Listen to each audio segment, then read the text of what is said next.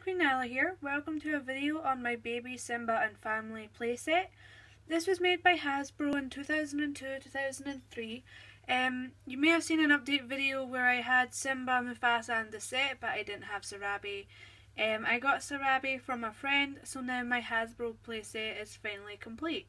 This set is super cute. I remember having this when I was young, along with the um, the Kissing Cubs playset. So yeah, it's really good and it brings back great nostalgic. I finally have it again and complete. So in this set there's Sarabi, Mufasa and baby Simba. Here's um, Mufasa. He's really cute.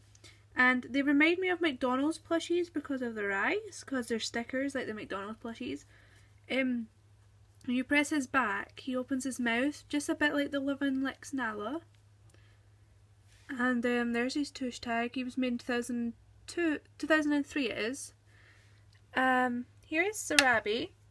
I'm happy because that's me got um, three Sarabi plushies now. I have every Sarabi plush ever made. Um, she is missing, missing, missing her tush tag, which should be up here. Um, yeah, she's really cute. She doesn't do nothing. And then here is baby Simba. He's really fuzzy and cute. And um, his tail there. And here is the Pride Rock. Um, as you can see there's like a tree and this is where Simba actually sits on this little chair. And it comes with a little flower that um, in the set Sarabi holds. Um, so since Mufasa opens his mouth, what you do is you open his mouth and you place Simba's tail um, in his mouth. Well, that's what I do. I'm not sure if there's any other way of actually doing it. So you pick them up by the tail. It's kind of hard to get them with one hand. oh well. Well, you probably get the the gist if I sit him like this and um, his tail will go in his mouth. But I don't normally do that.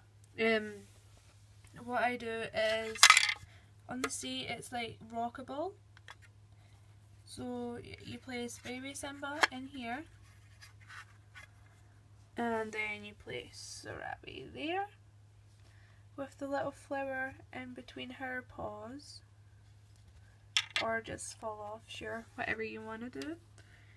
Um, it's really hard to set because it's kind of rare to find it complete for it being made of small parts. There we go, she has her flower baby Simba, and then Mufasa sits down here. So guys, I hope you've enjoyed this quick little video. If you have, please like and subscribe, and I'll see you guys soon for another video. Bye!